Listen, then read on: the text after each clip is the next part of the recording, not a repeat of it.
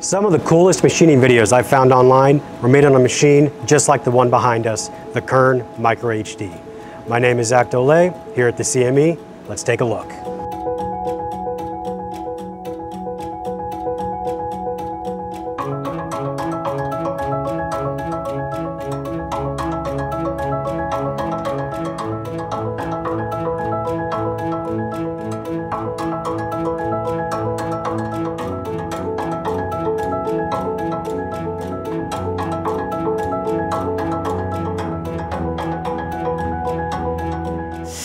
This five-axis machine may look deceptively simple, but it's packed full of technology.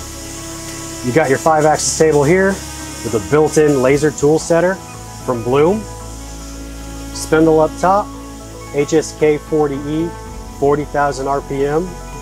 One thing that sets the Kern apart from a lot of other machines is it's actually a sealed environment. So of course you can throw in your aluminums, your brass, your titaniums, Inconels, difficult materials. You can also jump into the world of ceramics, graphites, stuff where you'd normally order a specialized sealed machine, but with the Kern Micro HD, you can do it all.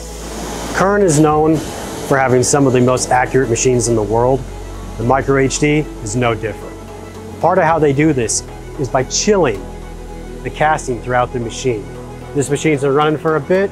I put my hand right here on the casting and it's cold to the touch. One thing you don't have to worry about with the Kern Micro HD is how many tools you have. This machine comes standard with a 210 tool changer. So you can have a variety of jobs set up in this machine. You never have to worry. When you have a machine and you're trying to hit super finishes and work with difficult materials like graphite, ceramics, what kind of control system do you use? Well, the Kern Micro HD uses the Heidenhain TNC 640 control. So instead of a generic G-code style programming format, they actually use Klartext. So you can use your ISO programming style, or if you want to simplify things when you're doing complicated five-axis parts, you can use what's called Klartext programming. So when I say Klartext programming, what do I mean? What I mean is the way you write your code on this Heidenhain control is more of a conversation. So if you look on the screen, you can see setting the plane, I'm resetting, moving to a safe position.